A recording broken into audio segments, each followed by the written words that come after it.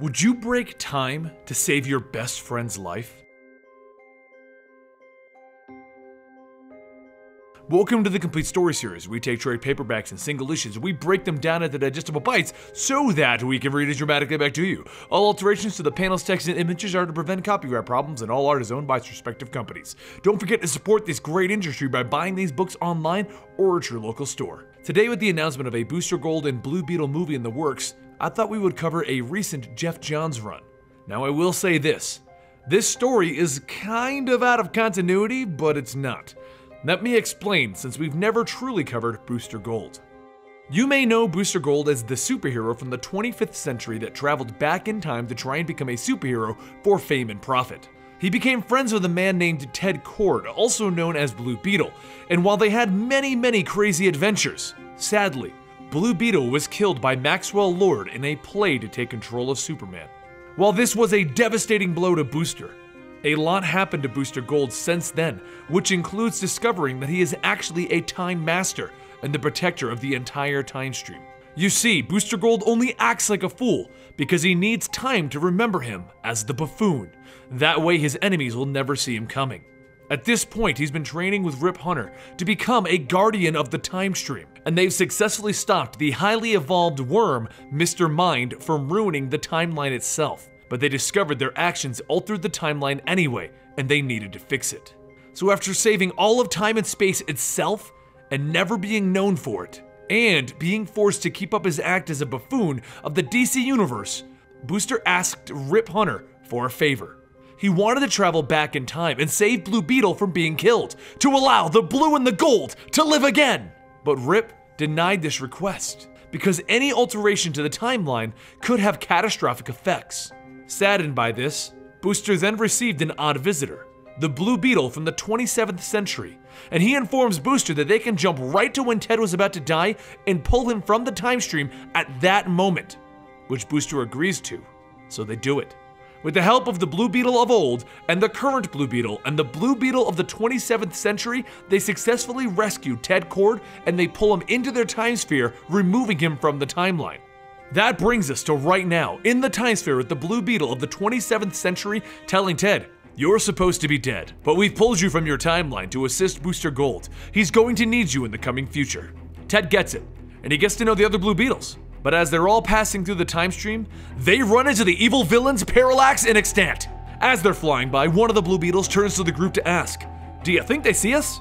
We're five grown men in brightly colored costumes. Of course they saw us. Parallax and Extant take off to battle against our Time Warriors. Booster starts by firing energy blasts at Extant, while Blue Beetle of the current day and the Blue Beetle of the future both bombard Parallax with their Scarab's powers. The Beetles were built to disrupt the lantern's light, but Parallax isn't a normal lantern. This is Hal Jordan, with all of the lantern's powers after he killed them, and he blasts them aside, calling them gnats. As they break free of Parallax's hold, everyone climbs back onto the time sphere, and they leave. You see, Parallax and Extant had already been defeated. This was the Zero Hour, but since they are time traveling, they just happen to go through the middle of it. As they leave the fight, Extant hits the time sphere with a blast of energy, throwing the time sphere into the 25th century and breaking it. While our heroes look around, the future Blue Beetle explains to the past Blue Beetle that they don't need to chase Parallax down since he's already been defeated and Hal's turned back to normal. Ted turns to Booster. Sphere's got a flat, man. And Booster looks around in shock. I'm home. It's today. That day. What day? The day I threw my life away. Booster and Ted debate the idea of Booster altering all of history and preventing himself from throwing the game that would give him a dead end job and keep himself from ever traveling through time to become Booster Gold. He doesn't want to prevent himself from becoming a superhero, but he does want to save his sister Michelle. You see, when Booster Gold traveled back in time to become the hero Booster Gold, his sister followed him and she died eventually but he has an idea. Rip Hunter, his Time Master trainer, told him that he couldn't alter the past, and he even proved it to Booster by allowing him the opportunity to try and save Barbara Gordon from becoming wheelchair bound. But he did. He altered the past by bringing Ted Kord here right now. Why can't he go to right before Michelle dies and pull her out of the time stream? So they run off to a time sphere that Booster Gold knows is here right now. The one that originally brings him back to the 21st century. But Ted brings up a good point. So we broke into a space museum to steal the same time sphere that you used to go back in time before we ever met. I get it, but if we take it now, how will you ever go back in time to start all of this? That's the beautiful part, Ted. We'll go back to the future, get Rip Hunter to give us a ride back here, drop our time sphere back off, then we'll use his to go back to the future. It'll be like borrowing a car. But that's when Skeets and his army of museum droids run in, forcing our heroes to jump into the time sphere and get the heck out of Dodge. But as they leave, the world changes, and OMAC droids appear all over in the place of the Skeet droids. As they travel through time to bring their little adventure to a close and let Booster Gold and Ted become Time Masters, they bid farewell to all of the other Blue Beetles and they wipe their memories, bringing them back to each of their own times. With everything going perfectly, they teleport back to the current day version of Rip Hunter's time lab to do the last thing that they need to do return the original time sphere.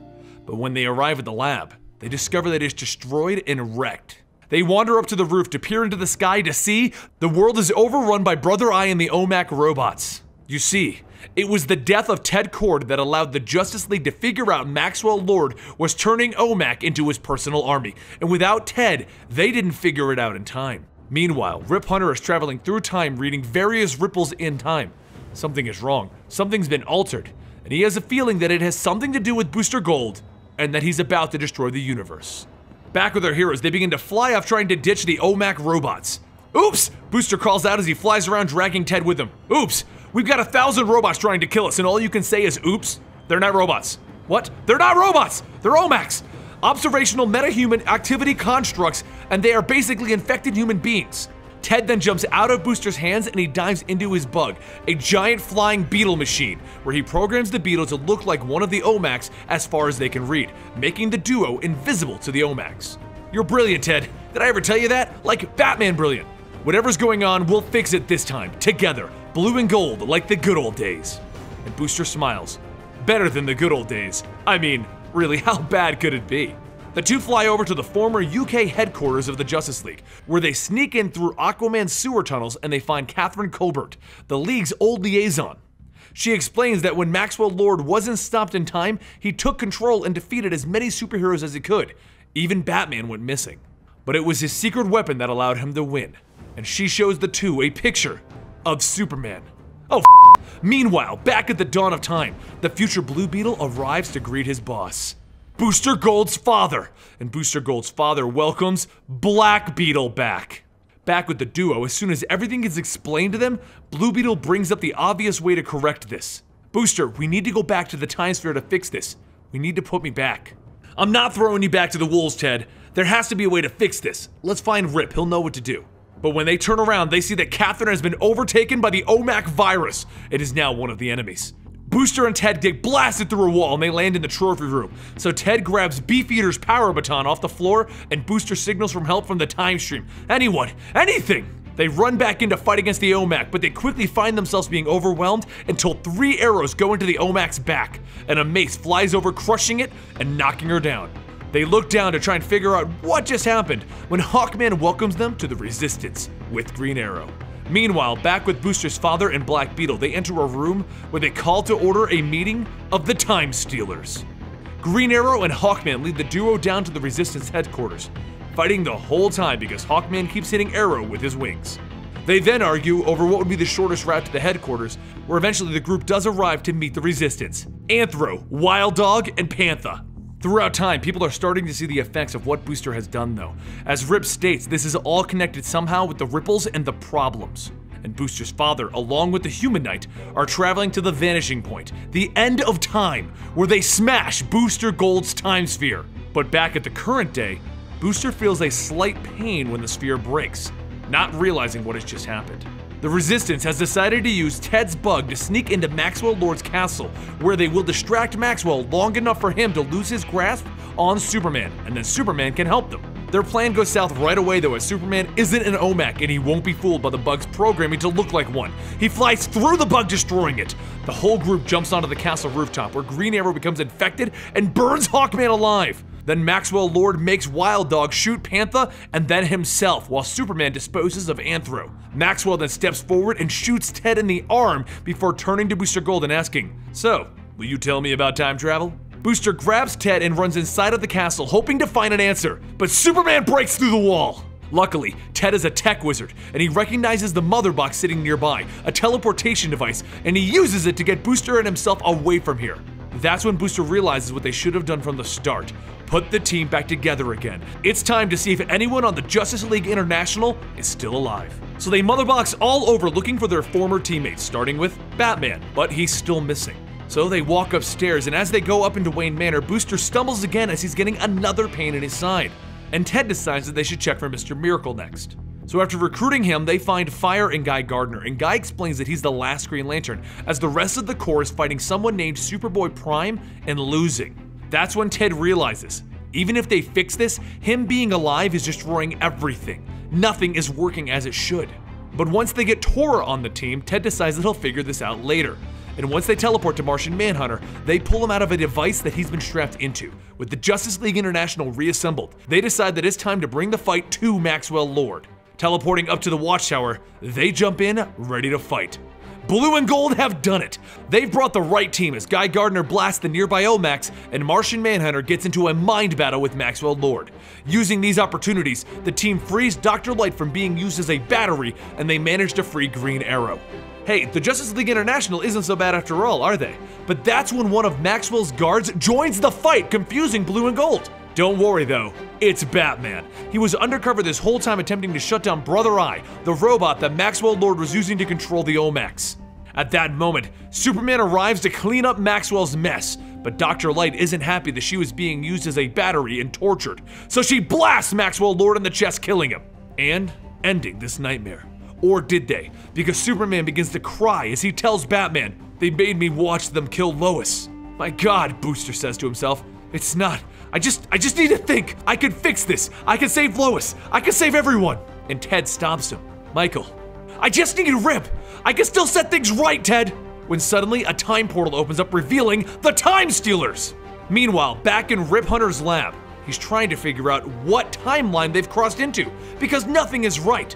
And that's when he figures it out. Someone destroyed the time sphere that Booster pulled out of the future, which means Booster never goes back in time to become Booster Gold, which means everything with Booster Gold never happened. Rip calls up Skeets. You need to stay here and locate Michael and Ted. Ted has his head on straight. He probably already realizes what needs to happen.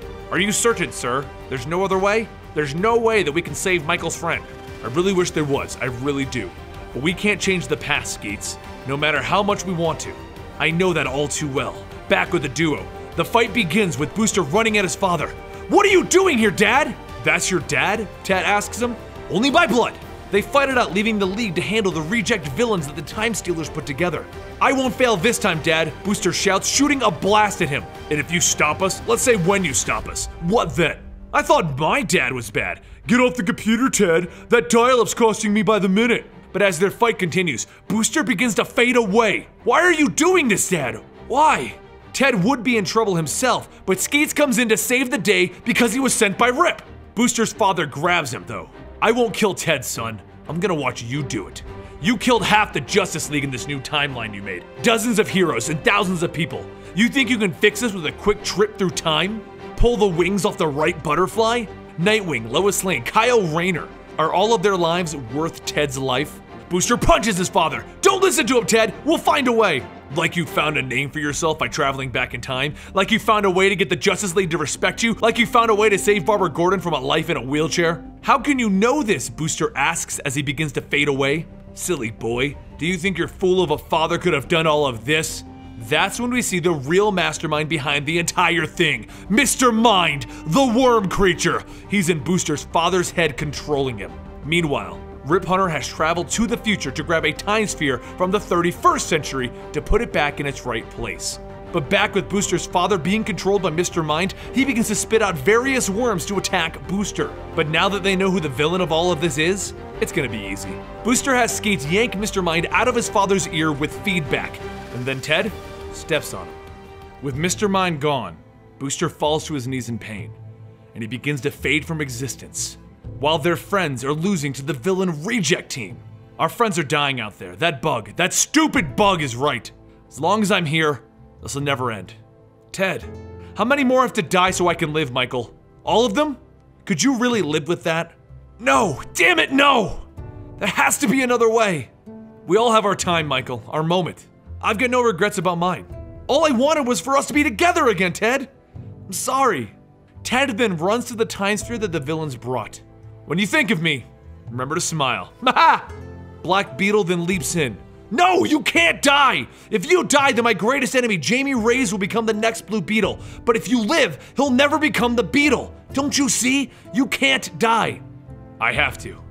And Ted presses the buttons in the time sphere, sending both himself and Black Beetle to the moment of his death. Booster gets up and he runs to the sphere. Ted! Ted, please! He screams, banging on the time sphere. And Ted looks through the window at his friend, his best friend, with a smile just as the time sphere leaves the era that they are in. Everything goes white for Booster as he's picked up by Rip Hunter and the crew in the new time sphere. Rick tells him that this was an example that he needed to learn from, and furious, Booster tells Rip that he quits. He's done with this time game. He goes back home where he stops the Royal Flush Gang, only to have Green Arrow and Green Lantern help him finish it and ask him if this was another PR stunt. I can't take this, Booster shouts. I saved the multiverse. I saved all of time and space. But Batman interrupts him with a phone call. Michael, we need to talk, now. Still angry over all of this, Booster arrives demanding to know what Bruce wants. He doesn't want a speech about his stunts or his buffoonery, all of this. Bruce is right, maybe he should just go back to the 25th century, end this 21st century stuff. And Batman throws photos at him. Photos of him being beaten by the Joker on the night that Barbara Gordon was shot. Where did you get these? Booster asks him. I've had them since that night. They were on the Joker's camera. But you were older in those photos than when I first met you, so I've held onto them until you matched the photos. I don't know what you're up to, but I can see the pain and punishment that you took from the Joker. You were literally tortured for a chance that Barbara might walk again. I can stop people from damaging the past for the worse, but I can't change it for the better, Bruce. And I can't let anyone know. Do what you need to do to accomplish your job, Michael. You proved me wrong. You proved yourself wrong. And if you ever need someone to talk to, I'm not Ted Kord, but I'll listen. That'd be great, Bruce. Thank you. With words of encouragement, Booster flies back to Rip's time lab, where he tells him that he's back in. He'll be a time master. And Rip tells him that he brought him a gift his sister. He saved her from her death. Shocked, Booster asks him, How? And Rip explains that while you can't change the past, Michelle was born in the future, and he figured that might be a loophole that they can use to their advantage. The past is concrete, but the future is wide open. Thanks, Rip, Booster says, taking Skeets and his sister into the Time Sphere to show her around as they vanish. Rip Hunter smiles. Keep it up, Dad. And that is one of my favorite stories about Booster Girl trying to save Ted Kord, where he just accepts that we can't bring back Ted. Now, if you liked that video, make sure you check out the other ones on screen right now. You just might like those also.